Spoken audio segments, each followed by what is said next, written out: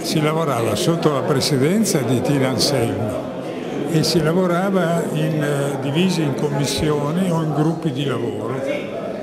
Poi la Presidente Anselmi affidava a ciascuno di noi dei lavori particolari che impegnavano ovviamente e a cui noi davamo adempimento nel migliore dei modi e nel più breve dei tempi possibili.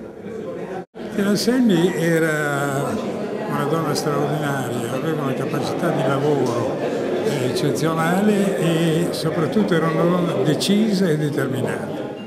Quando voleva raggiungere un risultato nessuno riusciva, arrivava delle volte al limite del eh, brinkmanship, come possiamo dire, ma senza superarlo, ma la sua determinazione, la sua forza, il suo coraggio in genere avevano la meglio sulle opinioni contrastanti.